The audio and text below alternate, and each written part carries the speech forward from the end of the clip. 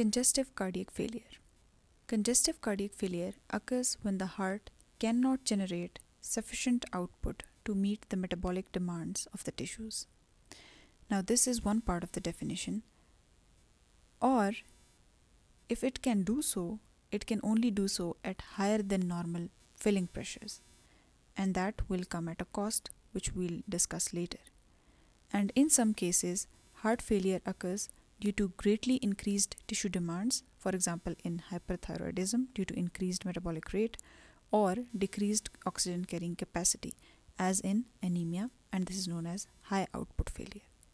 Now, this definition is from Robbins, and you can see that it clearly states that congestive cardiac failure means that the heart is failing because it is congested with blood. Okay, it is failing due to any reason because it cannot pump effectively. What can be those reasons?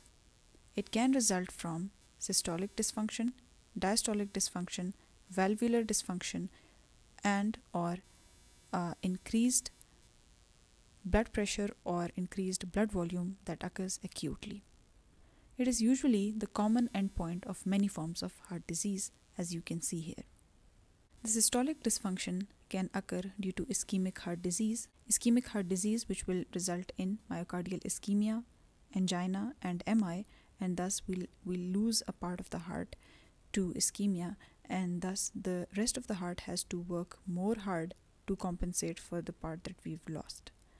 That's why we can have systolic dysfunction due to IHD, Hypertension can cause systolic dysfunction because it will increase the total peripheral resistance, that is, uh, the the pressure against which the heart has to pump will be increased.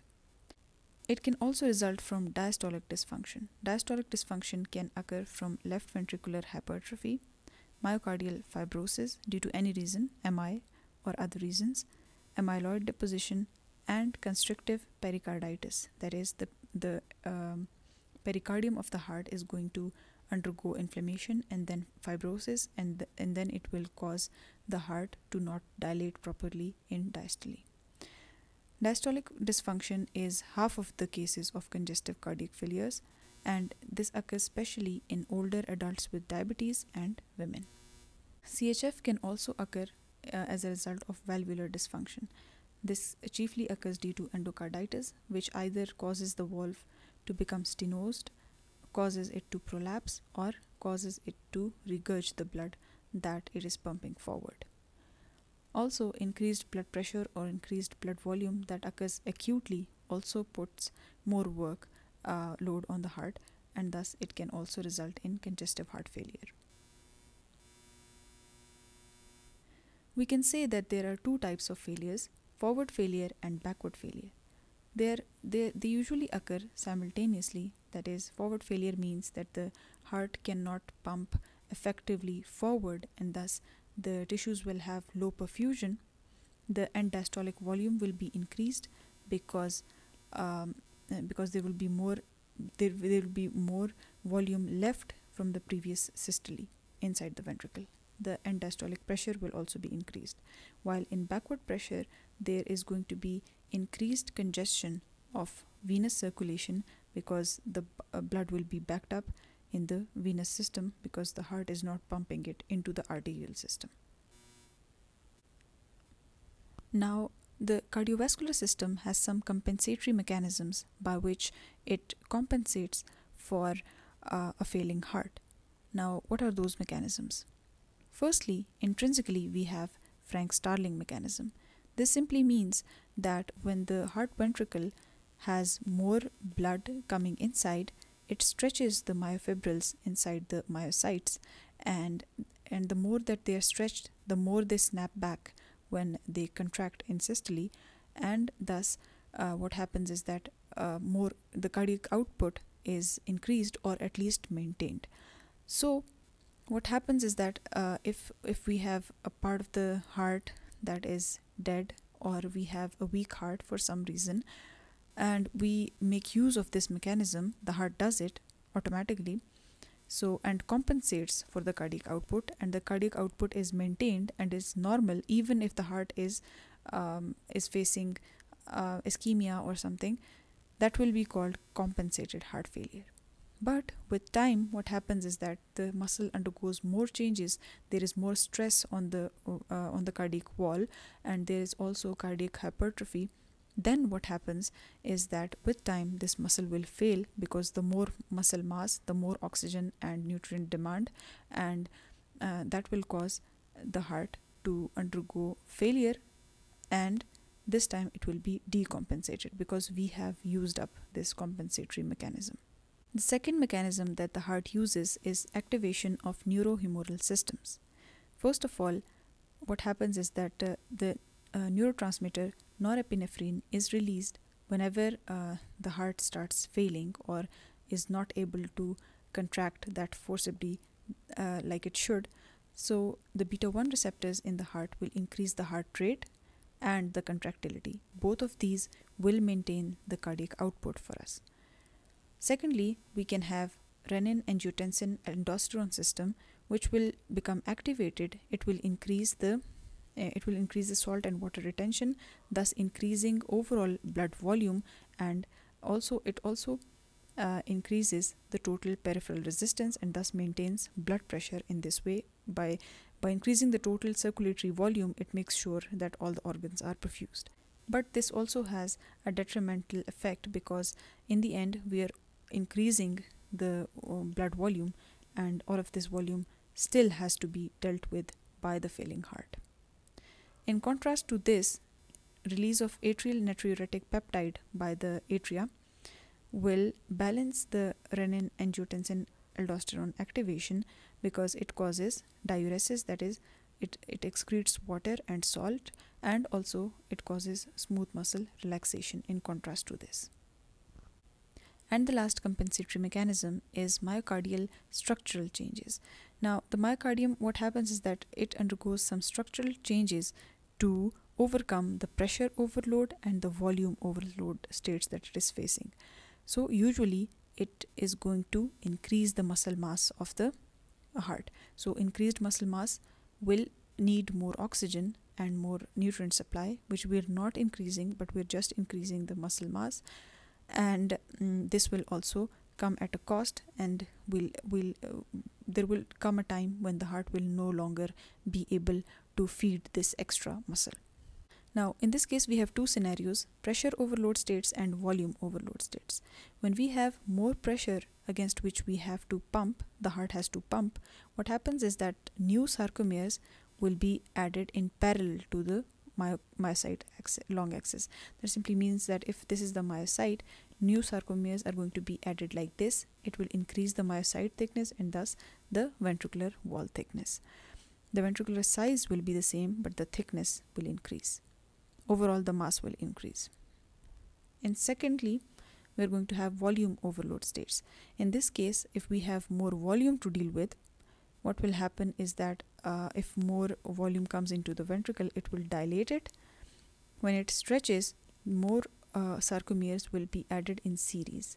And if the, they are added in series it will increase the ventricle it will dilate it. So the ventricular wall thickness may vary it may not increase as a, as in this case but it will dilate. So the um, the wall thickness will be the same or can be less but the heart is going to dilate. So in this case we have to check the heart weight and not the thickness of the wall. Now congestive cardiac failure can be divided into left-sided heart failure and right-sided heart failure. Why does left-sided heart failure occur is the same causes ischemia to the heart muscle hypertension dilated cardiomyopathy mi and restrictive cardiomyopathy as we have already discussed.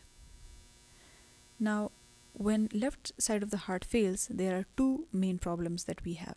Firstly, there is pooling in the pulmonary circulation because we have the left ventricle, left atrium, and then the pulmonary circulation. So all of the blood will be pooling here in the um, arteries and capillary beds uh, of the uh, pulmonary circulation.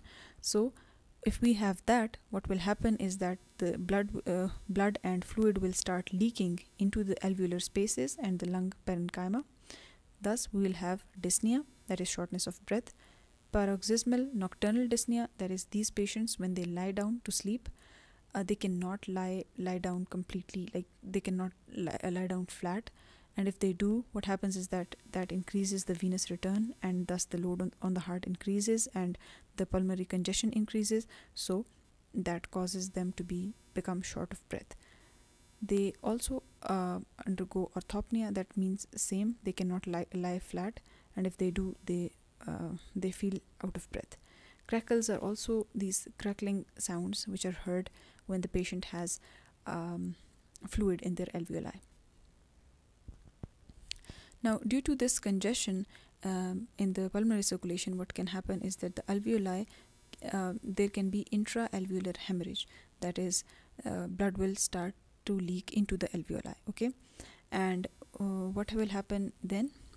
And what will happen then that macrophages will of course come to clean up the area and they will when they'll uh, phagocytose the rbcs they will convert it into hemosiderin and which is the which is a product of hemoglobin and uh, mm, the, these have a characteristic appearance they're brownish and they're known as heart failure cells on gross appearance, the lungs are heavy and boggy.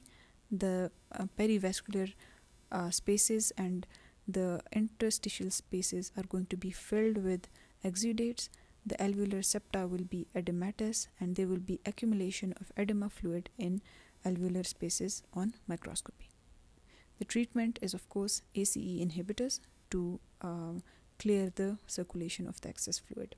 Another consequence of the right heart failing will be decreased forward perfusion.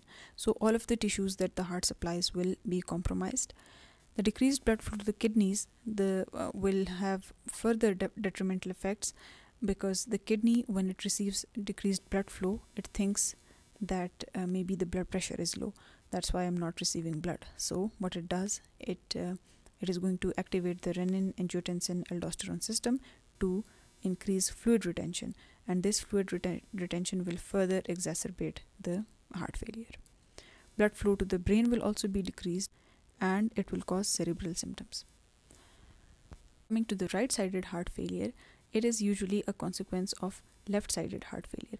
Because if the uh, left side of the heart fails, the blood pools in the pulmonary circulation increasing uh, increasing the pressures against which the right heart has to pump because usually right side of the heart does not work that hard um, as left side of the heart does. So when it has to work more it will fail. And also if we have a left to right shunt and more blood is being shunted from the left side of the heart to the right side it will probably fail. And in chronic lung disease it can also increase the pulmonary uh, blood pressures and resistance will be increased and thus the right side of the heart has to work more which it does not want to do and thus it will fail. Now when the right side of the heart fails we have uh, two problems visceral congestion and peripheral edema. First of all we can have um, all of the veins will be congested of course but this jugular vein we can see it in the neck and it will be clearly distended secondly we'll have hepatosplenomegaly when liver has so much blood it will undergo passive congestion. So the centrilobular area will undergo congestion, okay, and the peripheral areas will be paler. And this has a specific characteristic appearance which is called nutmeg liver, okay. And if this right heart failure is also accompanied by left side heart failure, what will happen is that we know that liver has two blood supplies. So, um, if both of them have failed, there will be centrilobular necrosis. In cases of chronic right sided heart failure, we have uh, the central area undergoes fibrosis, and this cirrhosis is known as cardiac cirrhosis because it is due to uh, cardiac issue.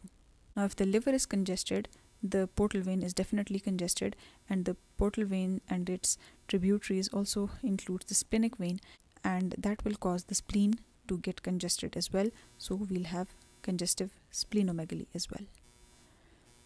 And lastly, right sided heart failure will cause peripheral edema and this will be subcutaneous edema in the dependent parts of the body that is the feet and lower legs and in bedridden patients it will be presacral edema and this is the hallmark of right sided heart failure that's all about congestive heart failure